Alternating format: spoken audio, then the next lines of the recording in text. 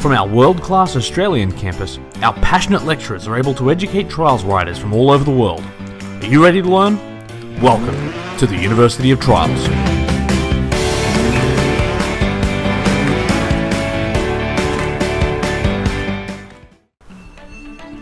We're about to start the fourth class for this semester, and by now you should be realizing that your skills are improving and your times are starting to drop. One of the things I've really enjoyed about engaging with students during the semester is hearing the stories about how you are improving. So please leave me some comments and let me know how the university has helped you. As always, we've got quite a lot to cover this class, so let's get to it.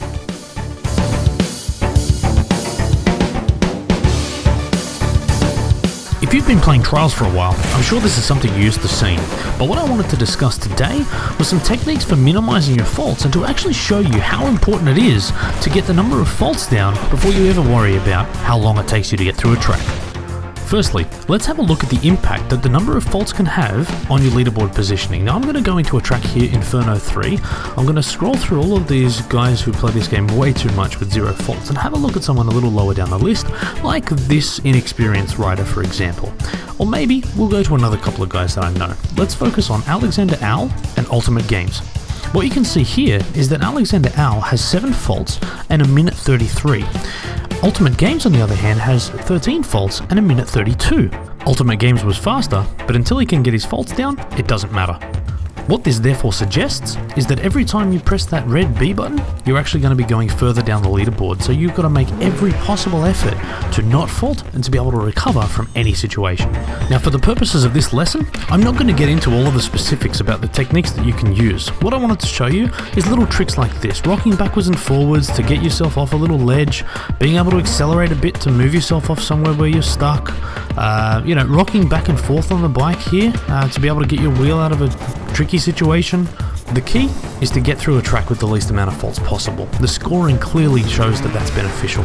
What I'm trying to encourage you to do is be as creative as you can and only as an absolute last resort, hit the B button and accept the fault.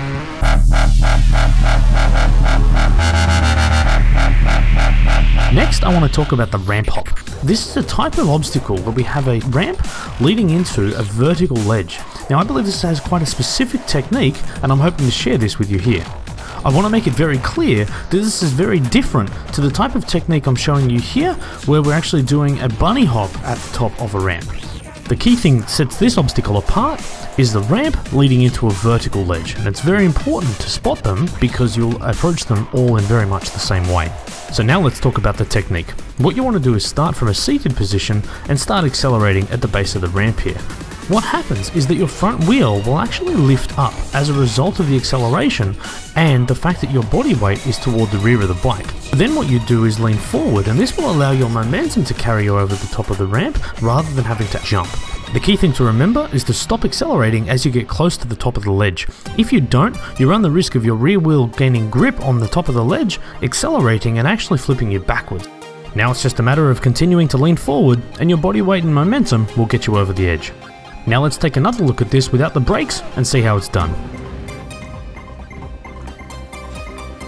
But here's my favourite part. Now we can actually start using that technique on a number of other extreme tracks that you may not have even thought about. Here's an example on the wreck, and even though that was quite a short lead up to the jump, the exact same technique applied. Another example we've got here on Fishy Business, same technique. Even though there was a gap in that ramp, the same technique will work perfectly. And now that we know that this technique works even when there's a gap in the ramp, I want you to look at this obstacle here. Now this is pretty tricky, but if you just use a little bit of imagination, you'll start to see that it's the exact same obstacle. Now, using the exact same technique, when your body weight gets to the top of the ramp you lean forward, you clear the jump quite easily. It may not look like it, but it is the same jump, and now that you know this, you'll be completing this with a lot more consistency.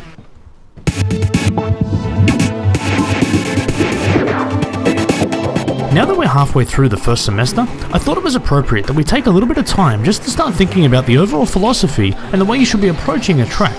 We've been going through a number of lessons teaching you individual techniques, and what I want you to teach you now is about how to make a particular track easy. Now, Dark City Run is not an easy track by any stretch of the imagination, but with a few of the techniques that we've taught you, we can actually make this track quite simple.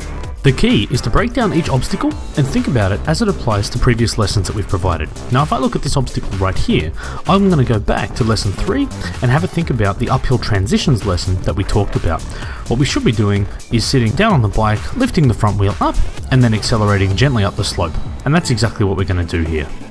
The second thing now, I'm going to look at this and think, well, that's a bunny hop from lesson 1.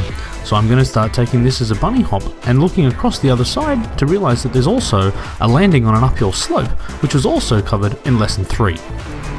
And finally, you're going to recognize this obstacle, that's a ramp hop and we've just gone over that tutorial. As I just explained, sit back on the bike, accelerate, lifting the front wheel up and then allowing your body weight to carry you over. Now I'm not going to go through the entire track today, I know there's a couple of obstacles ahead of this that I'm sure you're going to want help with, but for the moment, let's save them for a future lesson. What I'm trying to encourage you to do is think about each checkpoint as a standalone obstacle and tackle them individually. Find the easiest way you can get across them, find a consistent way to get across them, and if you've got to, try different alternatives like I'm showing you here to get across the obstacles in the most reliable way possible. The reason that I often suggest that new players to the series don't watch top replays is because a lot of the time it masks all of the individual techniques that are being used. What you can see here is a very sort of smooth and fluid transition from one obstacle to the next, but when you're just starting out, that's not the best way to ride. What you should be doing is stopping in between each checkpoint and just understanding what's happening in between the checkpoints instead of trying to fluidly transition between both of them. Using that strategy will definitely help you improve. Sorry class, but it looks like it's that time again. Here at the University of Trials, we're always looking for new students, so make sure you tell everybody you know to check out these classes. Also, let me know in the comments if there's any other obstacles that we haven't covered or any techniques that you've seen that we haven't gone into yet, and I'll make sure to include it in future lessons. Be sure to check out all of the previous University of Trials and other RedLynx videos, and make sure you subscribe because in the next class, we're going to have some special footage from my trip to E3.